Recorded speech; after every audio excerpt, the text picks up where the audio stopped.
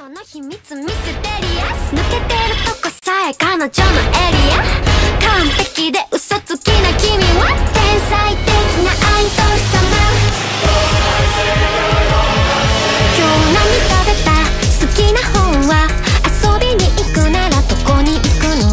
何も食べてない。それは内緒。何を聞かれてものらりくらり。そう淡々とだけどさんさんと。味噌で見えない秘密は